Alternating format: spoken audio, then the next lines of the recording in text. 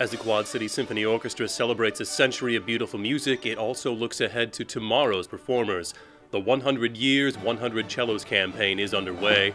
Symphony patrons and area businesses are sponsoring artists to turn these unfinished instruments into works of art. The proceeds pay for local music education. You'll soon be seeing these cellos around town. For more on this and other ways you can show support for the symphony and tomorrow's musicians, visit qcso.org.